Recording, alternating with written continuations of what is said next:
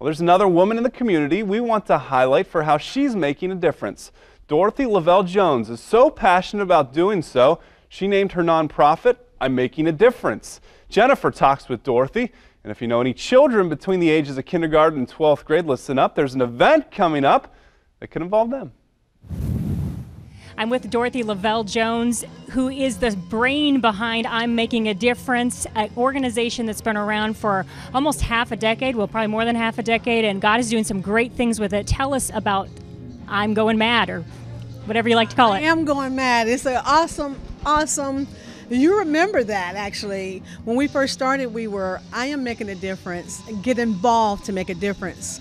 So when you just mentioned the letters and all of that, it's I'm mad, get mad, because we want people to get involved to make a difference. Tell me about the program. What does it do for kids in the community? Well, what it, what we were hoping to establish is to give our young people, um, you know, they always say that we need to do something about the kids in Lima. Somebody got to do something about the kids. Well, we listened and we're doing that. We are making a difference in the lives of our young people, and we do that through the Dr. Martin Luther King Oratorical Contest, and so that is that is our our dream.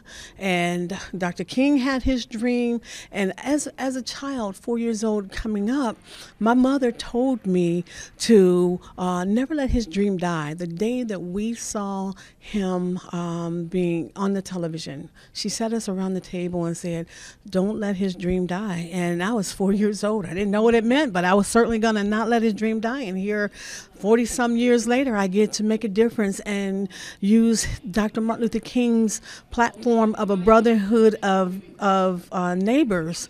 So I, you know, wanted to do that, make a difference in that kind of way. You recently had a great concert, lots of incredible talent. What was the purpose behind that event? Well, we want to raise savings bonds. We need we did a fundraiser so we can raise savings bonds for our young people.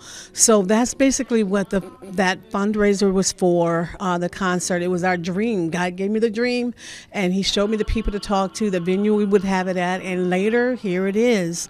And and one of the one awesome thing about that is there's more to come. There's more to come.